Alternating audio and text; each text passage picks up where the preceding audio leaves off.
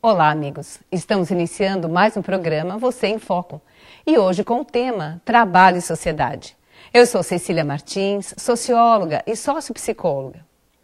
Atuo na área da atuo na Secretaria Municipal de Saúde, na área técnica de saúde do trabalhador.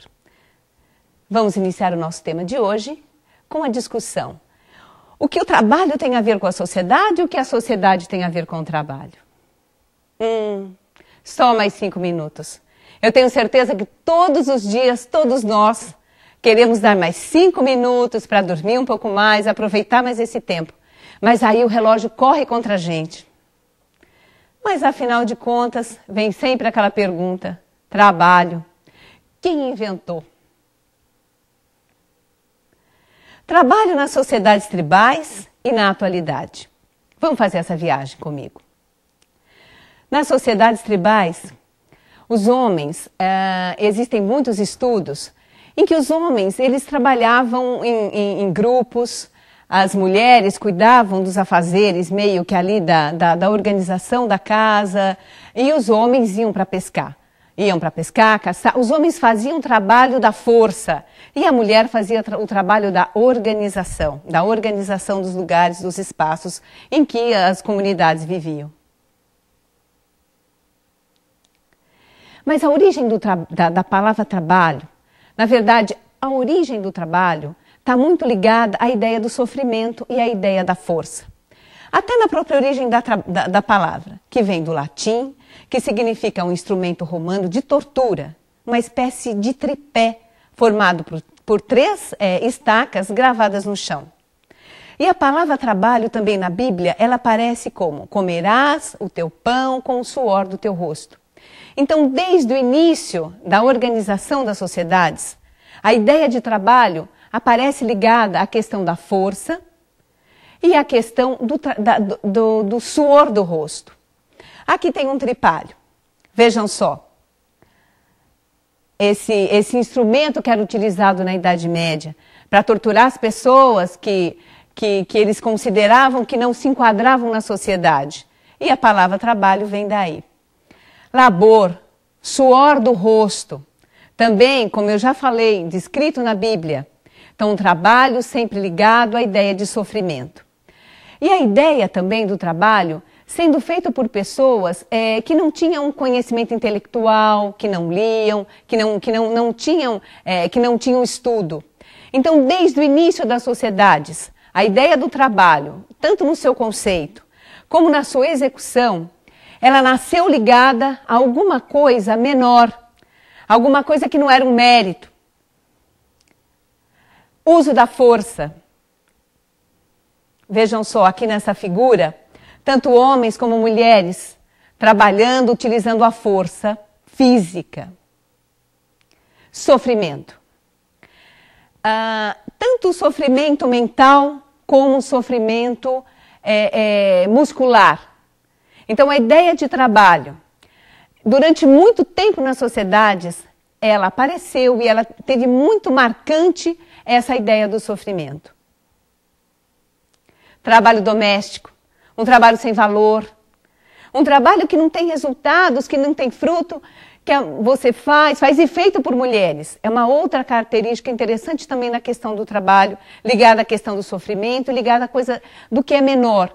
Nas sociedades gregas, por exemplo, quem trabalhava eram os escravos. Como em todas as sociedades escravocratas, eram os escravos, que não sabiam ler, ou negros ou mulheres.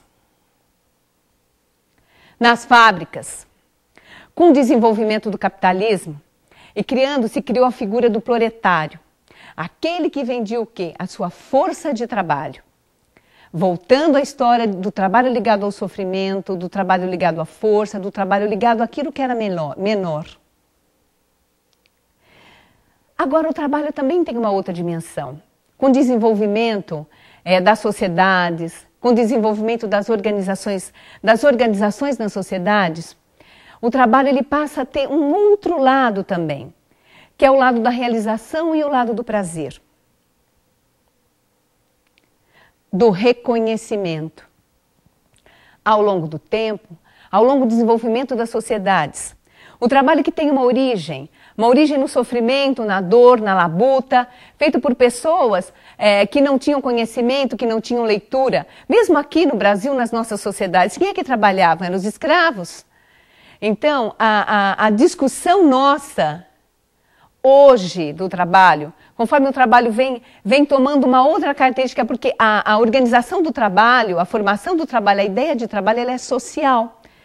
É, quem, quem vai dando esses valores ao significado do trabalho são as próprias sociedades na, na qual ele está, ele está inserido. É, e no desenvolvimento da sociedade começou-se a discutir várias formas de trabalho. O trabalho ligado à arte, ligado à música, ligado à dança. Um trabalho também que vem em forma do prazer, do belo. Aqui um trabalho de arquitetura. Lindo trabalho. E um trabalho também ligado à ideia de consumo. Então vejam só que coisa que, que, que, que questão interessante.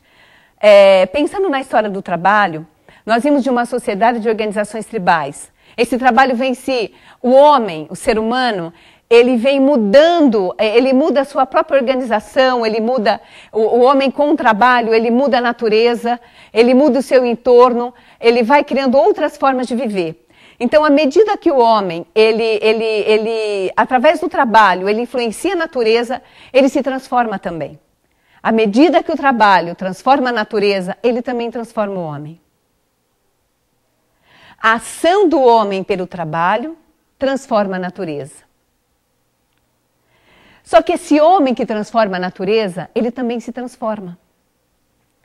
Hoje, nas nossas sociedades, é, nós falamos do homem cibernético, o homem que trabalha em ambientes virtuais. De que homem que nós estamos falando hoje quando nós falamos de trabalho?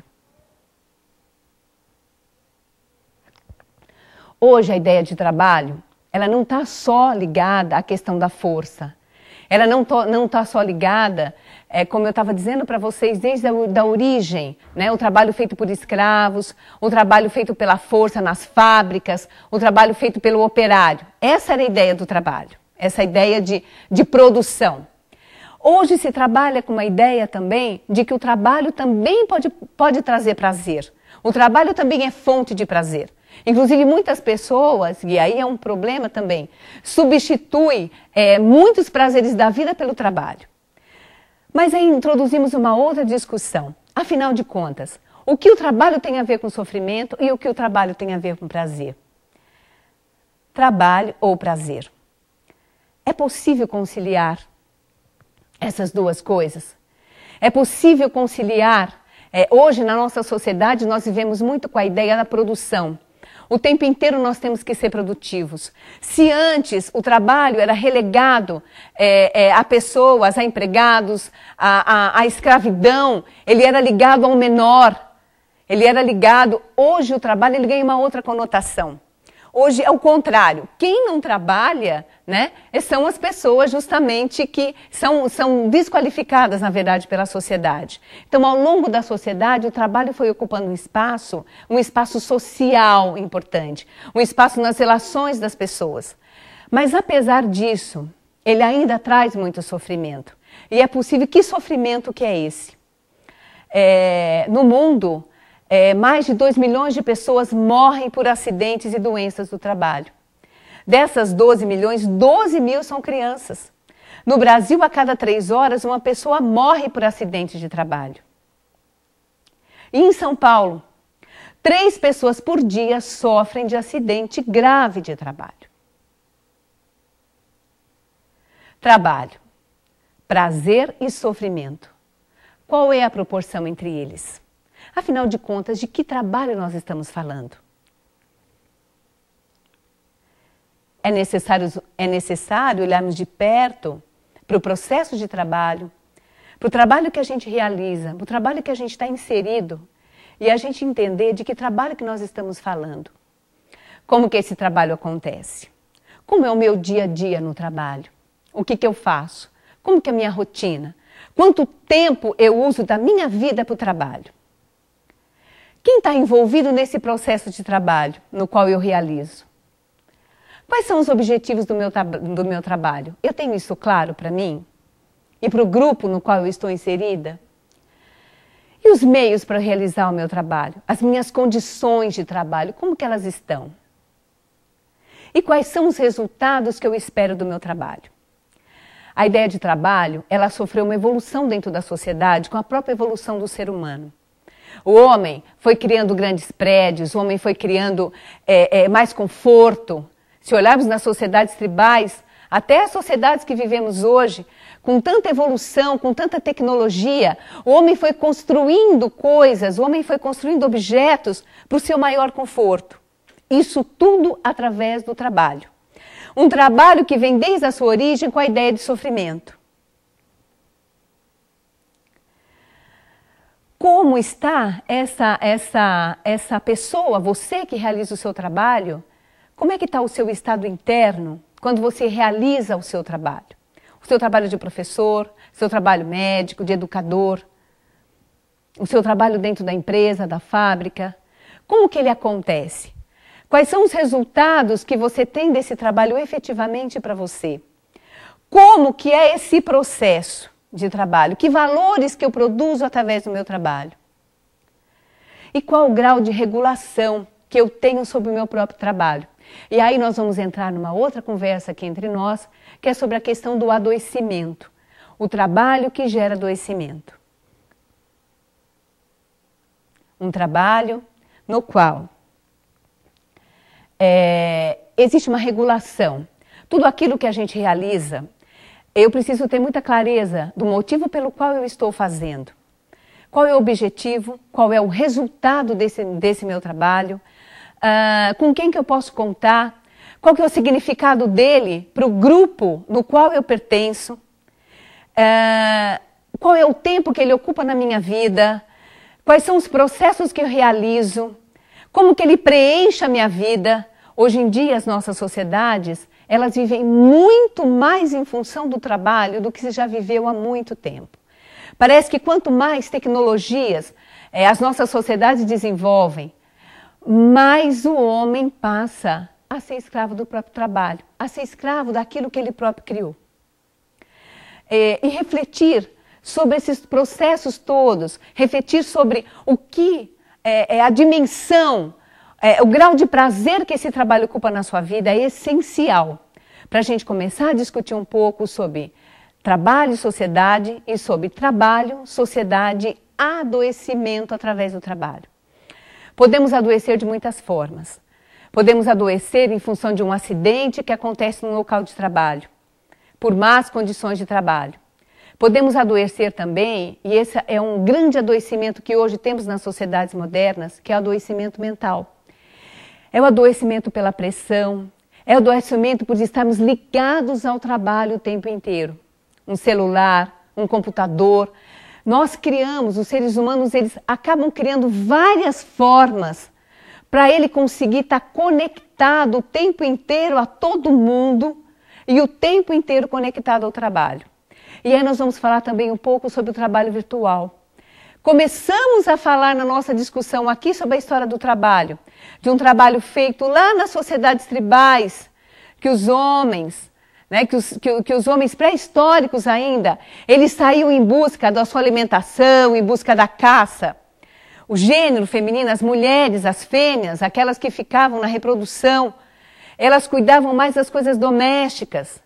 Desse homem pré-histórico, que vem se evoluindo, que vem desenvolvendo outras ferramentas de trabalho. Deste homem, nós estamos no homem totalmente informatizado, no homem cibernético. Mas que sofrimento que aquele homem tinha e que sofrimento que esse homem tem hoje. É muito interessante pensar nisso, porque se existia uma, uma ferramenta rudimentar em que esse homem trabalhava, hoje você tem uma série de ferramentas em que o homem trabalha. Mas a ideia de sofrimento ainda está embutida no trabalho. Se antes nós tínhamos uma quantidade excessiva de sofrimento físico, hoje nós temos uma quantidade extraordinária de sofrimento mental.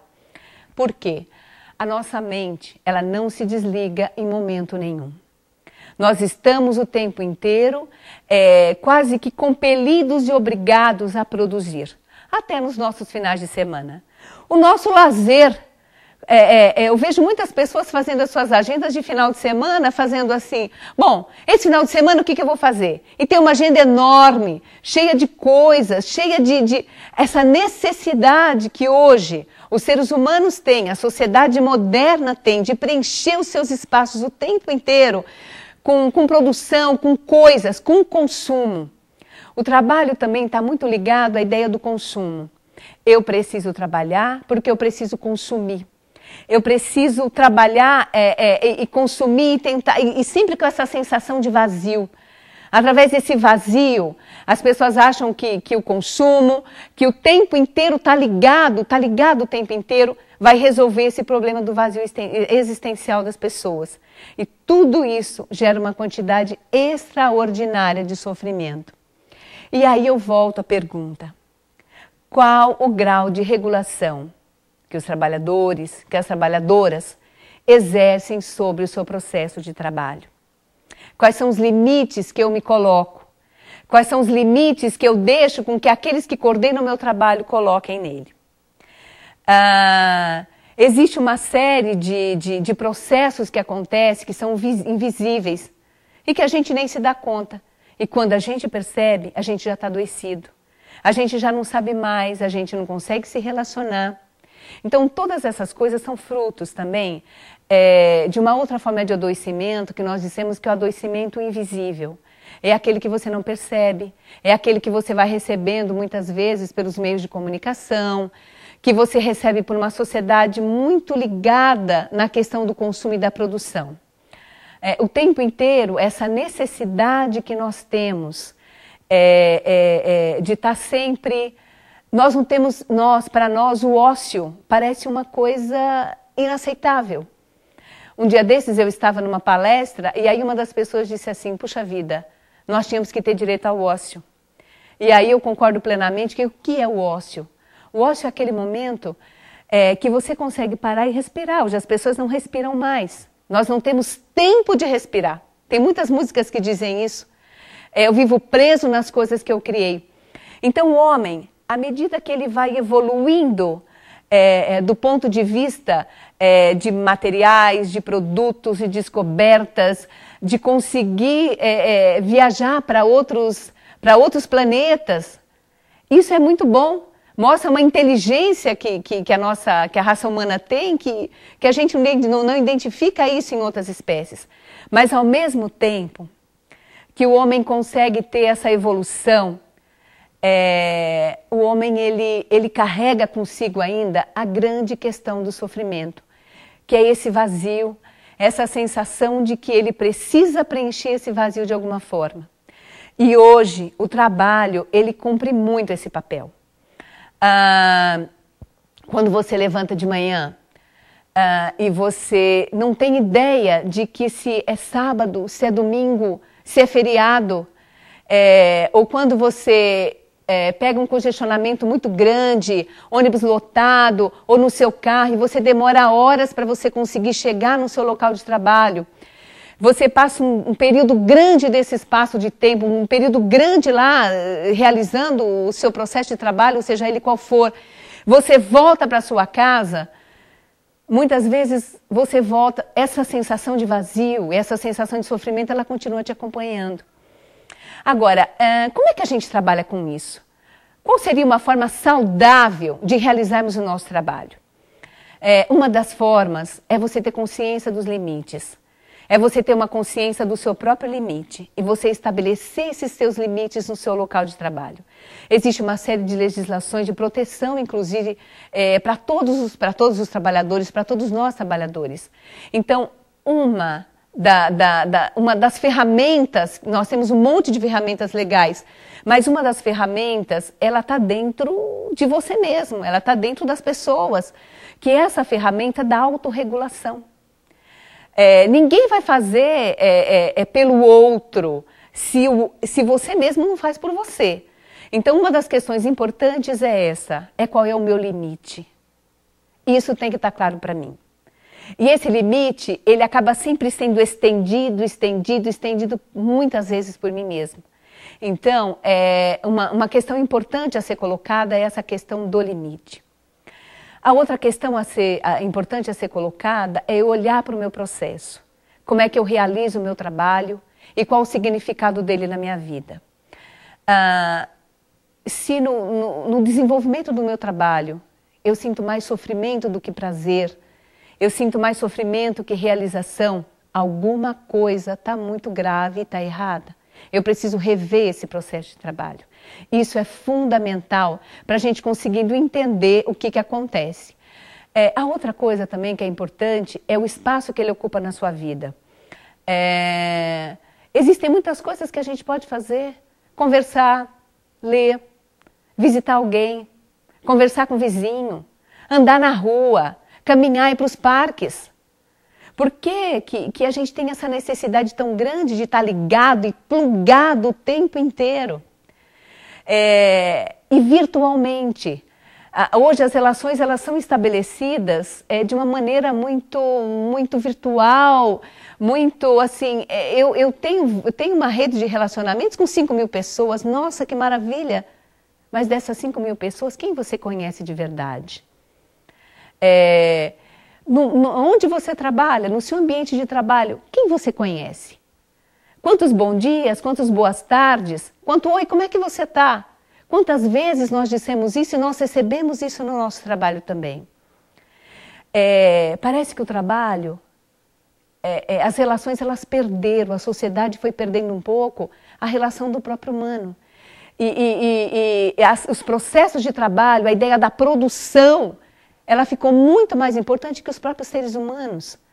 Por que, que nós produzimos coisas? Não é para o nosso conforto, não é para nós melhorarmos as nossas condições enquanto seres humanos, mas parece que acontece o contrário. A nossa condição de ser humano, ela fica cada vez mais relegada a coisas. Então, tudo isso a gente precisa pensar, a gente precisa rever, a gente precisa conversar com as pessoas do nosso ambiente de trabalho. E a gente precisa também é, colocar essa lente aqui, ó, essa lente de aumento. É necessário a gente olhar com esse olho dessa criança, com um olho simples, sobre os processos da nossa vida, sobre qual é o significado que as várias coisas da nossa vida ocupam. Será que muitas vezes a gente também não está fugindo de conflitos que são familiares, que são outros tipos de conflito e jogando tudo isso para o trabalho ou vice-versa. Então, em todas essas coisas a gente precisa pensar para que a gente possa fazer efetivamente uma regulação entre prazer e sofrimento. Aqui, ó. Mas afinal de contas, prazer ou sofrimento?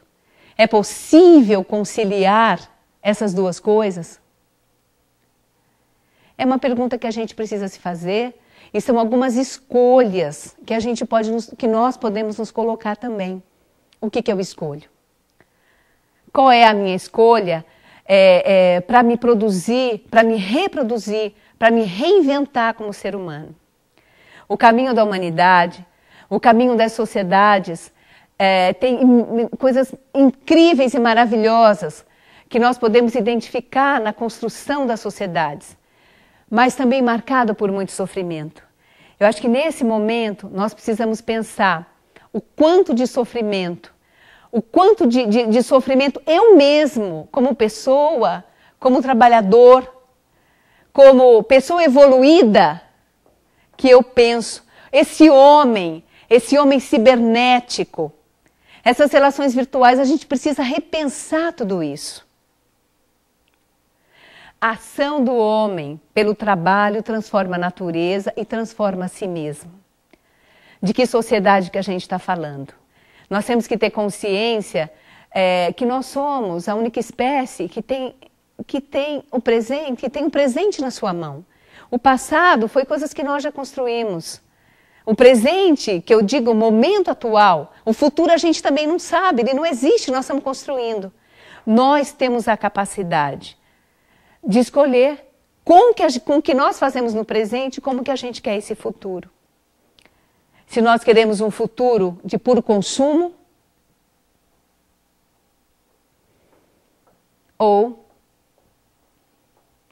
se nós queremos um futuro, se nós queremos construir que, uma, uma, uma possível conciliação entre o sofrimento e o prazer. Isso é possível. Existem muitas formas, é, eu acho que a principal delas é você conseguir se olhar no meio de todas essas coisas, porque cada um de nós somos um agente na nossa própria vida. Nós somos um ator principal da nossa própria vida. E se isso não tiver claro para a gente, fica muito difícil a gente conseguir sair dessa, dessa, dessa dicotomia entre trabalho, prazer e sofrimento. Vamos encerrando por aqui e até uma próxima oportunidade.